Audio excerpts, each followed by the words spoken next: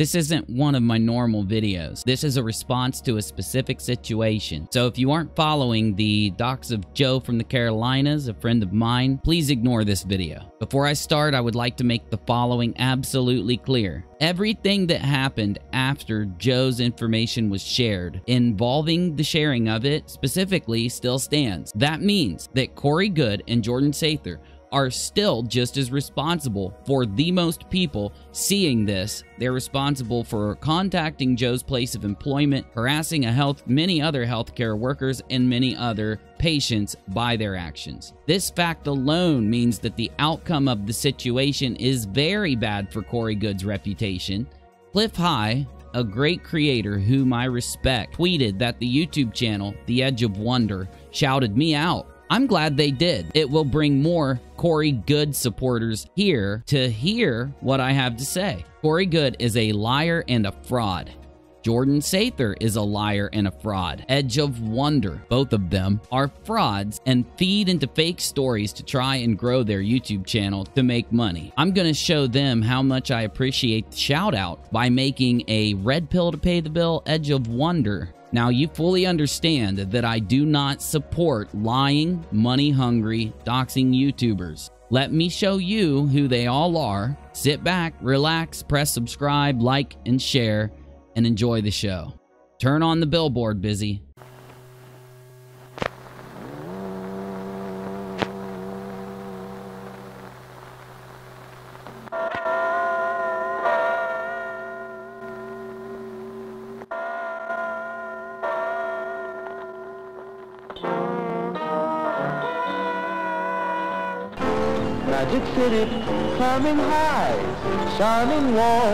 Reflect the sky. Magic City, in the sun, has the darkness on the run. It's growing bright, the city, light the city, right, the city now.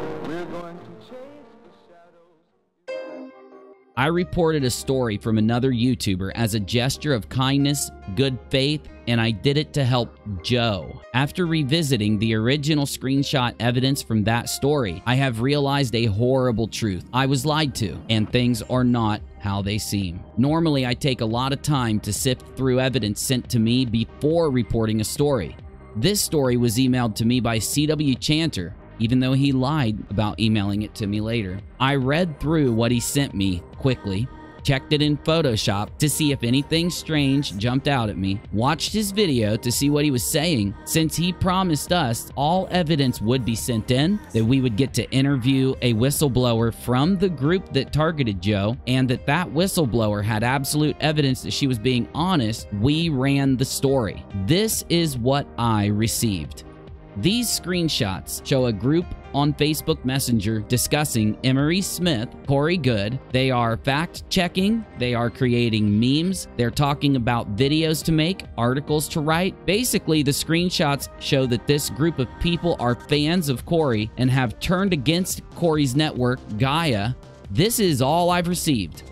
I didn't get any more evidence. I didn't get any proof that this group did release Joe's information. I didn't get to interview the whistleblower. And with what I had, I couldn't prove a thing that my original video stated months ago when the story broke. I noticed this was wrong and mentioned it in a stream, but quickly realized that before I talked about it any further, I should check with other YouTubers and my team. In Discord, over a period of a few days, we shared all the screenshots, discussed the issue. Kev Baker, Joelbot5, among other YouTubers and viewers, all decided that we need all of the original evidence from Kelly and CW, and we decided we would ask them to send it. Kev Baker did this on his show. But something strange happened. During his show, Kelly and CW found out that we needed this, which is good, right? They just want everyone to know the truth, so they sent us all the screenshots. Right? No. Kelly found out and started to act very rude and strange, along with CW. They told us they wouldn't send the screenshots or the videos that CW had to delete. So I went live and told the community what was going on.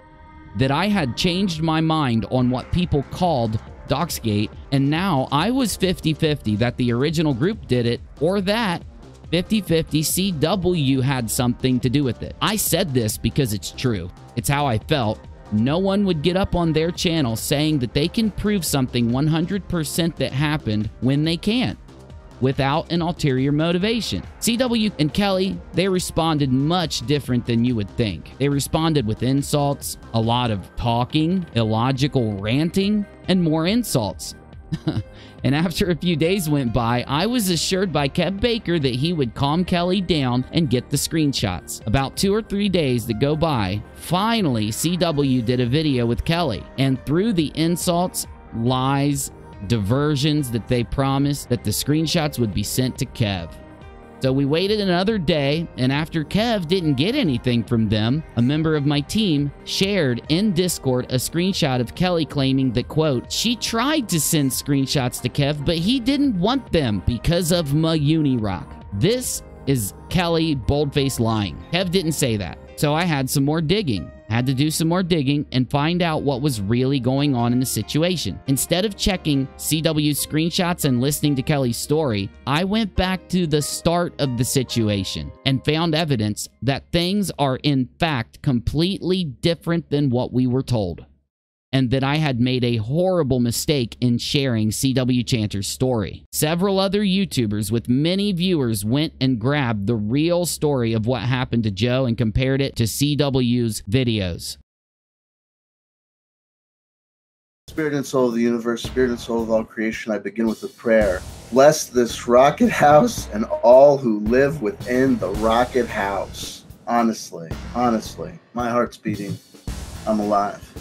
Before we begin, I've spoken to my guests at length before starting tonight, and I can assure you, we are here for people's benefit, not for people's harm. We are doing what we are doing because truth is important to get out. What I did is simple. What my guest did was hard, but I will allow her to speak for herself. What we will do now is simply the following just bring you up to speed. What you have just heard is the start of his expose that relies on two things the words of Kelly, his whistleblower, in the video, and the screenshot evidence that they put up. We will address the screenshot evidence next. But as for Kelly, CW and Kelly are now a couple, and we should be happy for them when it comes to their new relationship. But when it comes to the story they tell, now we must consider the new situation. When this video is done and you hear Kelly's words as testimony, you start believing what they are saying. But after this video and they meet up in real life, went to contact in the desert together, CW left his wife, moved in with Kelly, and started to stream with her. And they admit many things. I'll only stick to what relates to the story. Kelly and CW admitted in front of their whole audience and the internet that they knew each other well before this video, that it took CW months to talk her into doing the video with him, and that CW had to delete many videos of them together because it could affect his divorce if his wife used those videos from his channel against him. Though I am happy these two are happy and together, truly, I now must reconsider what I know in regards to the story. I cannot apply Kelly's words as testimony or truth. I have to consider that if CW wanted her to change part of her story that she may, being close to him, may not, not knowing him being a whistleblower, and any journalist would never consider a witness for testimony to a story that is intimate with the journalist who broke the story. It's bad practice. It's illogical, and it will not be done by me. I would do this to Corey Goode and Jordan Sather if the situations were reversed. Now, let's listen to key parts of CW and Kelly's video with that in mind. Not that Kelly would lie or that CW would ask her to, but that with this circumstance in the forefront, she is now not a whistleblower from a group testifying to a journalist or YouTuber. She is the journalist's mistress by definition and could be biased. And if this information would have been revealed in CW's video, we would have all felt differently in the start of it. Invariably, many of you, many of you have already seen this video. Hopefully you have. If you haven't, it's there for your liking, and much of the information presented therein has already spread through various outlets and various mediums throughout the community. First, he starts to refer you to his last video, which he has deleted and you cannot find. And in that video, there is absolutely no proof of an order to do anything. Joe is not mentioned in any way, shape, or form, and it does not prove what he's saying. Although, using that because of this thing that's spread, he's trying to appeal to it instead of actually showing you proof. Goode and His Being Alliance and the Full Disclosure Network, headed by Roger Ramsour. Remember the name Roger Ramsour because you're going to be hearing it again in just a minute. Do not forget this.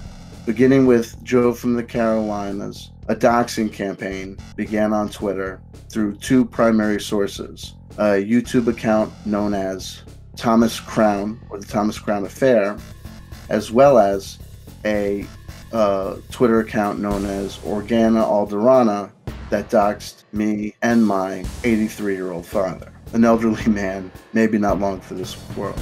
Months before Doxgate occurred, I had released my own name, simply my name, in a video because I was tired of being harassed by people, one specific person in particular, who was threatening to release my name.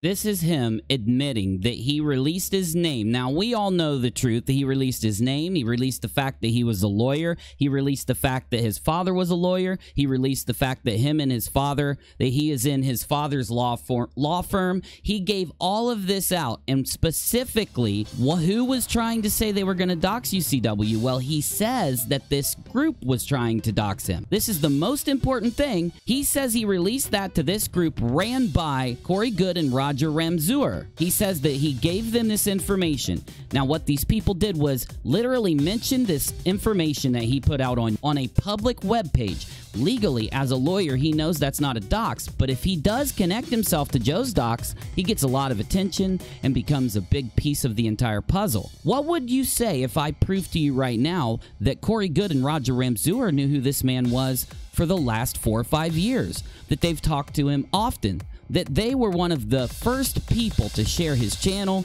to discuss him, and that he's been on their websites. They've talked about him in interviews, and that he's been lying to you the entire time. Because I hate to say it, CW, if Roger Ramsour and Corey Goode are running the group, and if you're trying to say that this group is going to dox you somehow by putting out your info that you've given them, it doesn't make sense. If the group has known who you were, all of this narrative falls apart. Well, take a look at this.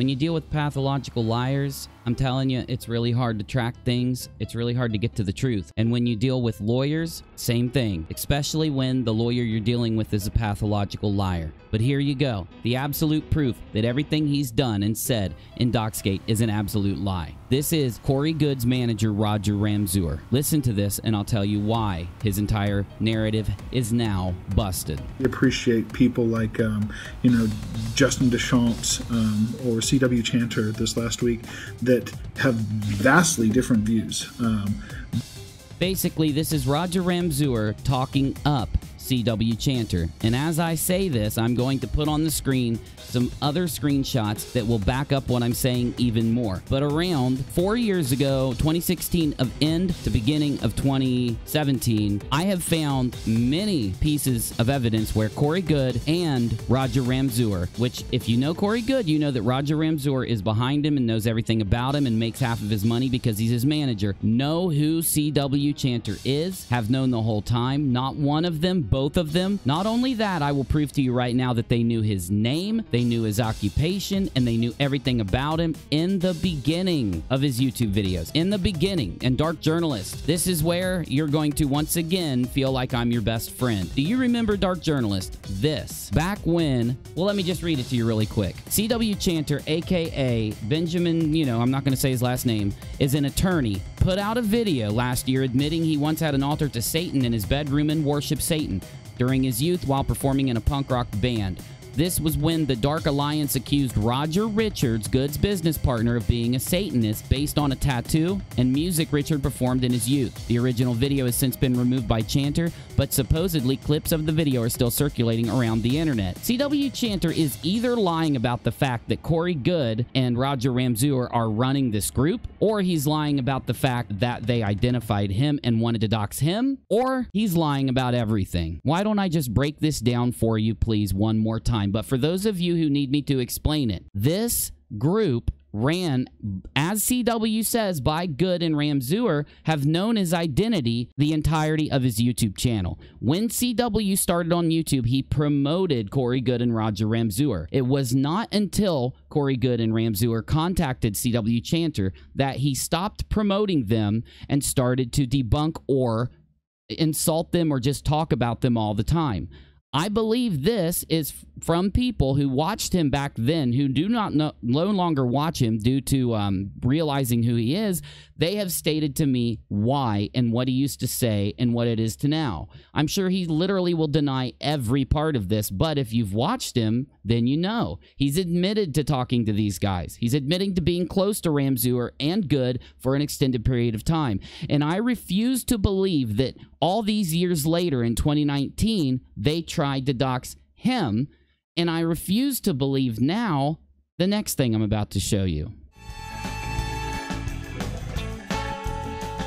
Remember earlier in the video, I told you we were going to visit the only piece of evidence that Kelly and CW put out about Doxgate that actually proved their story. Also, remember, where I told you that this piece of evidence was accused of being faked and it was accused of being, uh, I'll tell you how it could have been faked really quickly at first. It could have been faked because if you look at it, it would have been so easy for them just to create a, a Joy profile because they're not in any closed group. They don't prove that they're in any closed group. The only thing they prove, and we've tested this extensively, is that this is Kelly's messenger or it's a Facebook messenger. Now listen to what this says. We also learned the real identities of the YouTubers that have been out for Corey and David's blood all year. One is a clinical psychologist and the other a dead attorney. I hope you guys had a great night and are off to a fabulous day. Whether or not they created this by going into Messenger, downloading her profile pic and sending this from a sock account and then cutting things off so that we wouldn't tell, whether they created this in Photoshop or some some other manner, or whether or not this is not slam dunk proof that CW and Joe were doxxed by this group. Like he says, it's the backbone of his entire narrative that has fallen apart completely up to now. But to add a little bit more tea to the spillage, if you look, it just means that they, the group, learned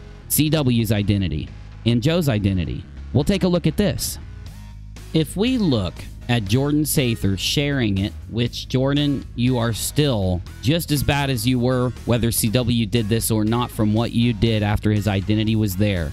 This is the account that did put out Joe from the Carolinas information. Do you see the name? Thomas C 1063015 and then there's more to it. What's important is is that you see what account it is because CW told you that for a fact that this was Thomas C. Well, let me break the narrative a little more. When my video started, I played you a clip where CW starts off his narrative telling you that Thomas Crown is the individual responsible for doxing him and Joe. Well, now you know that he didn't dox CW because CW's information was public, which therefore makes it not a dox. But did he dox Joe? No. You're like, what? What are you talking about, Unirock? CW Chanter lied to all of us. He told us that it was Thomas Crown for sure, and you heard it. I played it for you that doxed Joe. Well, if you look, I just showed you that the account that docs Joe, shared by Jordan Sather and everybody else, was at Thomas C. Numbers, numbers, numbers, numbers. Well, what does this say? At Mr. Thomas Crown 1. You see, somebody made a new account and tried to make it look like Thomas Crown Docs Joe. Whoever Docs Joe, was it Thomas Crown? I don't think so, because why would Thomas Crown try to make a sock account to Docs Joe so that no one knew it was him, but then name it after him? Well, Thomas Crown's account, this one that CW had been fighting with for a year, it was in existence for a year or more. The account that doxed Joe is in existence for a few days before it doxed Joe. You need to let that rest in your mind for a second. It had to rest in mine. You're telling me that CW had no reason to tell you that Thomas Crown docs Joe or that this group did? You mean to tell me it was a sock account the whole time, which literally means that anyone in the whole world could have doxed Joe? Well, who done it?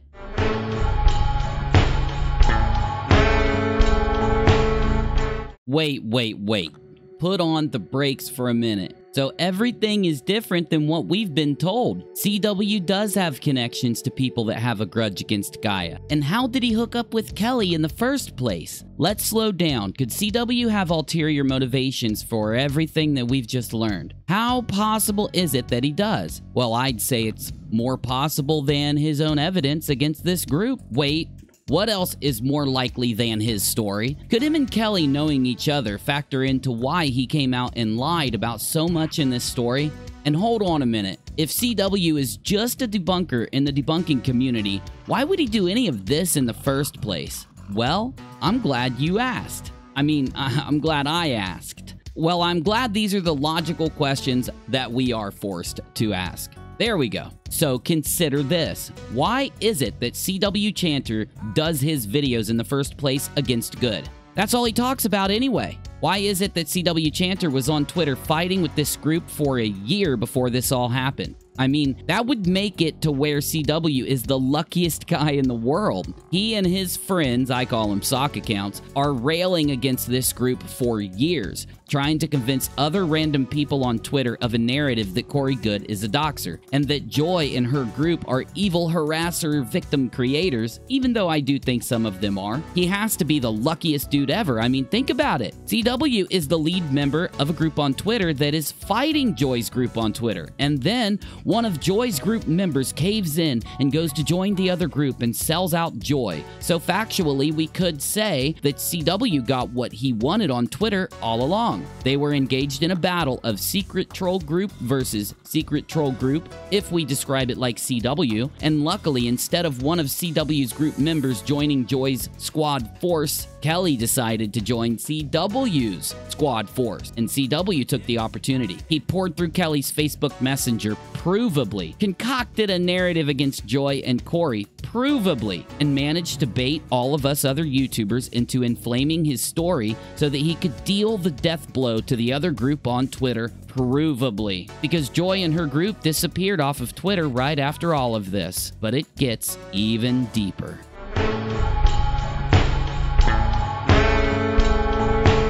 I can't tell you everything because all I can do is go back and look at what everyone said, look at all the evidence is there, look for the people that are lying, and look for the ones that are representing things truthfully. But I can say this I've invited Jay Weidner on the show, and I think after talking to him, I'll have a better understanding of everything that happened. Listen to this clip because it is going to give you the reason, in my opinion, that all of this happened, of course, subject to part two of this video. Yeah, I was trying to explain the last time that we were on, and I've been kind of how I'm missing this. Hope I'm not getting old. Um, anyway, uh, so I, I am retired now, and, and uh, Corey's attorney sends Gaia a letter just about the time I'm retiring that he has trademarked SSP Secret Space Program and ba- 20 and back. Okay. And that Gaia has to pay every time they use those words, they're to have to pay Corey. And that would be a lot of money for Corey, by the way.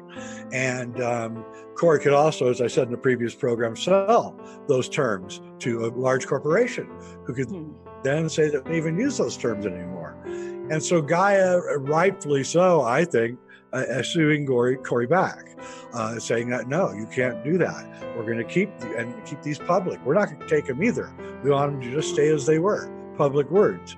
And um, within a week of Gaia's attorney sending the letter, that's when all of the you know what hit the rotating blade and uh, Jem. Uh, um, after Thomas Crown, emails being out, doxing people. Uh, you can see that there's a, definitely a task force assigned to destroy Gaia. Exactly, Jay. There is a task force assigned to destroy Gaia and a task force assigned to destroy the destroyers. At the end of this video, I'm just going to speak. I'm not going to read from research I've done or notes that I've taken. My alliance is to nothing more than the truth. And anytime anyone contacts me, I tell them, you get one mess up with me, you get one major slip up. And I say that because sometimes people mess up, but sometimes people purposely are doing things and you can't tell when you first start talking to them. I now know what CW Chanter is, and I've tried to let the community know, but even like when a drug addict says they're sober and convinces the family, but one person stands up and says, Hey, he's not now. It'll take the drug addict doing something to convince the family he's back on drugs. I can't convince the community until the person proves who they really are. Regardless of what happened and regardless of what's going on, I will tell you this. Doxgate happened. Joe's the victim. Dark Journalist is the victim, not CW Chanter, not the other people that are standing up crying that you should watch them, worship them, pay them, tip them, and all the other things they want to gain from this horrible situation. I don't seek to gain from this horrible situation from anything more than just reporting it and getting to the truth on it. And I don't even care to gain from that. I just mean it's probably an unnatural thing that'll happen. People talk about it, it goes around. That's normal stuff to get from it. But injecting yourself into this, acting like you were doxxed by the same people, why don't you go back and see why he did it? He did it because Joe is getting a massive amount of attention, and he wanted the attention too. And in fact, that's why he's lied about me. That's why he begged to come on my show. That's why he treated me like he did. It's why he baited me into doing shows and other things. Now, if he'll do that to me, he's going to do it to every other person out there who's dumb enough to communicate with them, work with them, or to watch him and support him. I don't mind if you don't believe me because I know this. These people, not the ones on my screen, let me take them off. CW, people like CW and Kelly, and the others that are lying, that are trying to play victim in this, that aren't. The people that are provably victims, fine. But the people that aren't victims in this, that are trying to play victim, in my opinion, they're always going to show their true colors someday. And I think you'll know the minute they do who was the guy that told me. So that's why I don't have a stake in this. That's why I take my time. But I'll tell you this I got a stake in the communities. I try to get the truth into these communities. I try to stand up and show you provably what's wrong in these communities. His story, CW story of the Doxgate, is not true. It is his narrative. And it, you, all you got to do to see it is go back and watch it. That's it. Just go watch it from start to finish. You will not disagree with me there.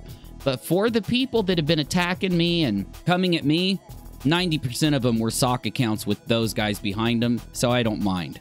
I mind what the community thinks Dark Journalist, Clif High, and the others, so let me say it again.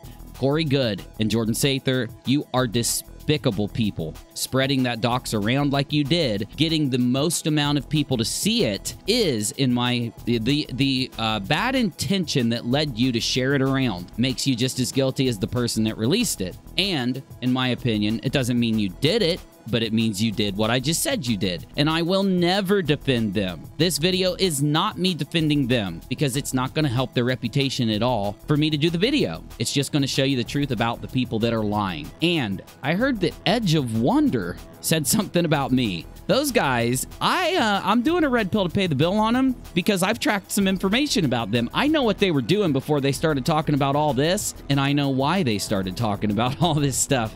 So I'm going to drop a little bit of a Moab on them, but I'll make them sweat just like I made CW sweat over this last week. I'm going to tell you this you want to disagree with me on opinion? Do it till the cows come home. But the facts in this case are that they have lied over and over and over again. And if you trust them after that, it's a fact that you're a fool or a sheep or that you're just not paying attention. I'm Unirock. This video has taken me a week to track. The information went so deep. I was going into Twitter, the Wayback Machine, uh, Google Archives for days and nights. If you want to help me, I didn't make a damn thing. I just wasted four days that I could have done anything else. And if you want to help me out, hit the subscribe button, the like button. No matter what you think, hit the share button, in my opinion. Give me a like or a dislike based on what you want to do. Consider my PayPal. because I pro- I mean I could have done other stuff and been gaining money and, and working through this. www.paypal.me forward slash Unirock. I don't aim to gain nothing, but it'd be nice to get back a little bit of that time I spent. And I have a Patreon also with other ways to support my show in the About section. I am on the side of the people out there that are not trying to rip people off and that aren't making a mockery of all these things that we talk about. Anyone else that'll tell you any different, just watch my videos and then try to argue it with me. Audi 5000. See you next time. Whoa! Everything you saw in this video, just about. I mean, there's a lot more, but it's the stuff that relates to this. Let's roll out with one of my favorite edits I've ever done because this wasn't Red Pill to Pay the Bill CW Chanter. Although I have been building one for about three months. Let me just give you the introduction. And me and Busy, he's asleep. Stop smoking all that crack, Biz. You won't fall asleep like this. We'll see you next time. Roll it.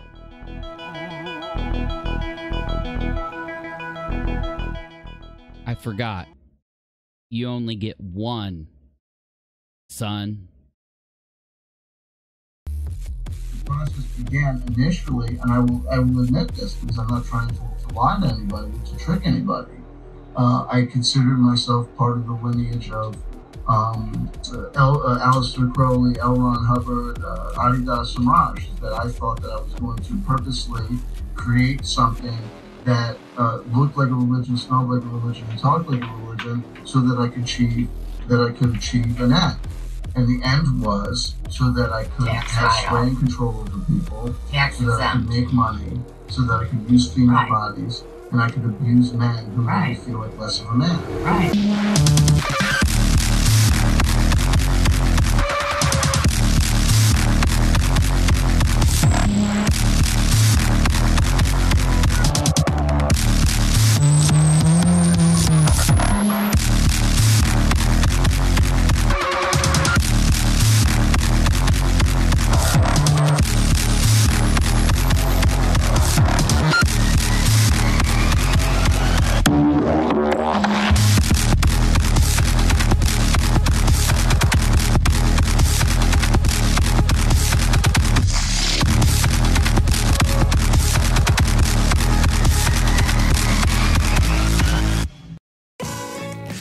Let let's let so I'll I'll introduce you.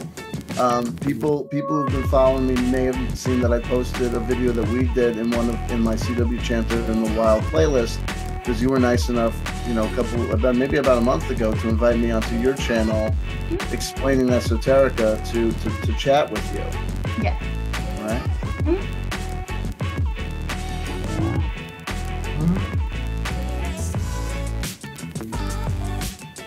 And we, we started talking and conversing about the issues under the sun and um hey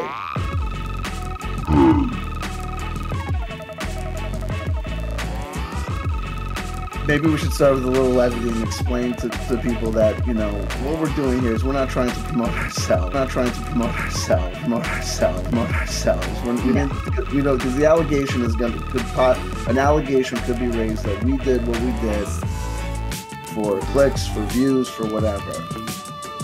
And you know what i mean? I want to apologize to you in this public forum because the reason that you're coming forward in this way something that i promised you you would not have to do is because cw chanter lacks certain technical capabilities when it comes to operating you know complicated computer software programs like google hangouts and share a screen right the whole reason I did this had nothing to do with increasing my popularity, had nothing to do with, had nothing to do with, had nothing to do with, had nothing to do with clicks, had nothing to do with views. I did this to get the truth out because it should have been out. I wanted people to know what was really going on, and that's why I initially didn't come out and do it myself. That's why I gave you the information because I didn't want it to be about me. People start. People start.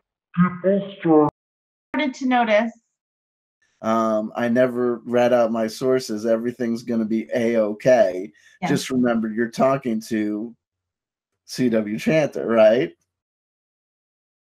CW Chanter. right. Primary proofs are out there.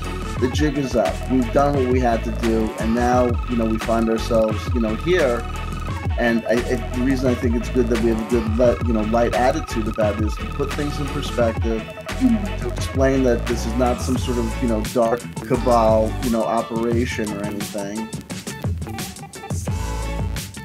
Someone somewhere along the line was able to you know crack my sophisticated you know someone somewhere along the line was able to you know crack my sophisticated you know